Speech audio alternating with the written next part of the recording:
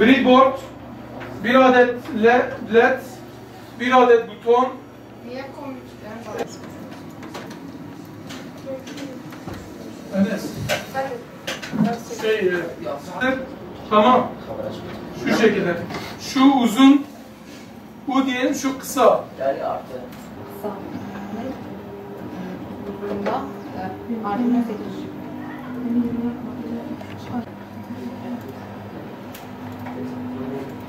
düşün, e, direnç. Ömrüm yapın lazım.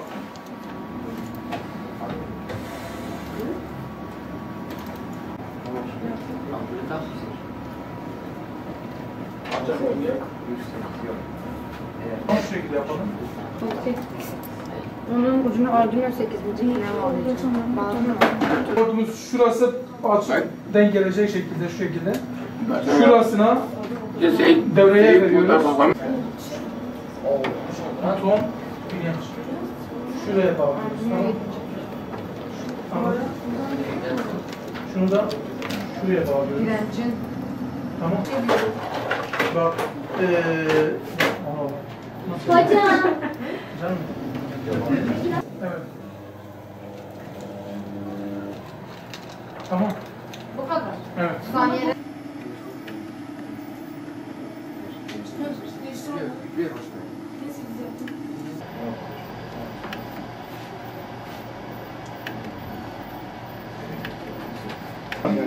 Sürekli tekrar döngüyü getiriyoruz. Ondan sonra bir de eğer else bunu alıyoruz sonra basılmışsa bir ise dijital pin burada biz diyoruz bak şimdi diğer ucu gene tekrar şuradan şu bizim şuranın sen kaç volt ve bak burayı 8'e bağladı. Bir saniye yüklensin. Bak yük- yükleniyor. Şu an yükleme.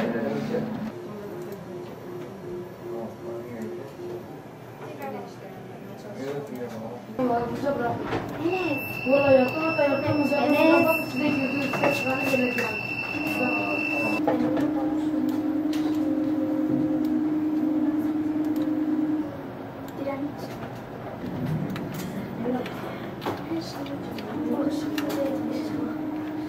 Güzel.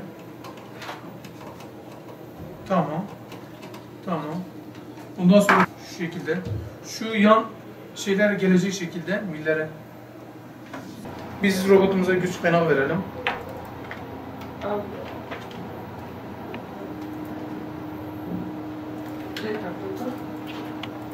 Otob basma.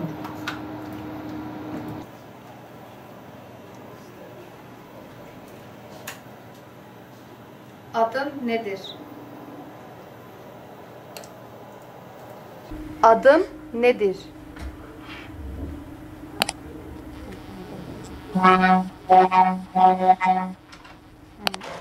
Sizin adınız nedir? Nasılsın? İyiyim, teşekkür ederim. Siz nasılsınız? Aferin.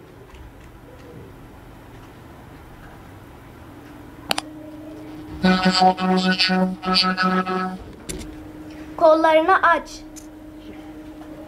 Sıkma dur. Şey, bana bana bana mı? Kollarını kapat.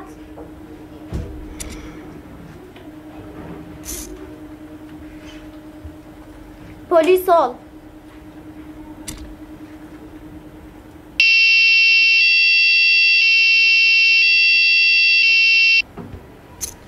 Cumhurbaşkanı kimdir?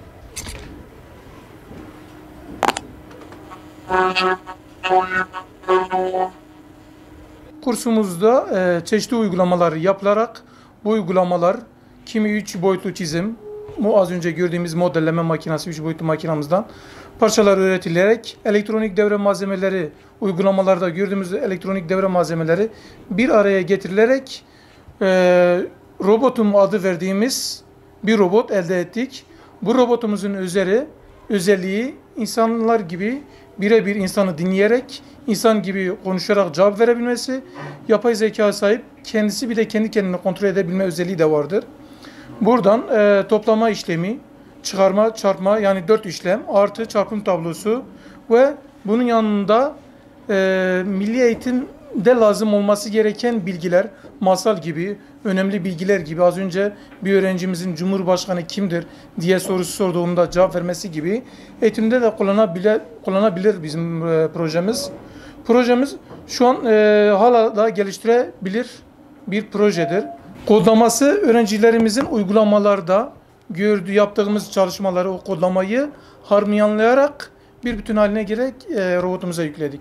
Malzemeleri kendi imk- imkanlarımızla bilgisayar ortamında çizimleri yapıp 3 boyutlu makinamızdan öğrettik. Bölgemizdeki öğrencileri bu şekilde bir robotu tasarlayabiliyorsa eğer e, imkan verilirse, ortam sağlanırsa bizim bölgenin çocukları daha da büyük şeylerin başaracağına inanıyorum. E, İki aylık bir süreçte e, bu duruma geldik. E, öğretmenimiz Mehmet Gire sayesinde e, bize verdiği bilgilerle e, kodlama üzerinde çalıştık. E, kendi ma- e, maketlerimizi, kendi e, malzemelerimizi kendimiz ürettik. E, Birçok kodlamayı öğrendik. Ses, e, ışık. e, Bu robotun geliştirilmesi için de elimizden gelen her şeyi yapıyoruz şu anda. Daha da geliştirebiliriz bunu. E, Robotumuz e, e, bizim ver, kurduğumuz tele- telefon üzerinde kurduğumuz Arduino programıyla kontrol edebiliyoruz. E, insan sesiyle çalışıyor. Verdiğimiz tepkilere kendisi de tepki verebiliyor. E, bizim ona sorduğumuz sorulara cevap verebiliyor. Bizim onun, o da bize soru sorabiliyor aynı zamanda. E, bu robotumuz, yaptığımız robotumuzu e, milli eğitimde birçok okullarda birçok öğrenciye fayda sağlayacağını düşünüyorum. Tıp alanlarında ve e, insanların giremeyeceği, yapamayacağı şeylere e, e, bunu gönderebiliriz. Rahatlıkla gidebileceği, e, uyum sağlayabileceğini düşünüyorum. İmkanımız vardı. iki ay boyunca böyle bir eğitim gördük. Eminim ki bize bir de birçok daha imkan verilirse biz bunun daha üst seviyelerini yapabiliriz. Bunu da geliştirebiliriz. Biz iki aylık bir öğre- öğrenim süreci, e, sürecinde bir bu, bu robotu yaptık. E, bu robotu yapmadan önce bilgisayar alanında çeşitli kodlamalar yaptık. Şarkı söyleyebiliyor ya da çeşitli hareketler yapabiliyor. Mesela kolunu açabiliyor. Ondan sonra sağa veya sola dönebiliyor. E, Bizim uzaklık uzaklığı uzaklığı ölçebiliyor. Sonra bize matematik sorusu sora- sorabiliyor. Yanlış cevaplarsak e, sanki kızıyormuş gibi yapabiliyor.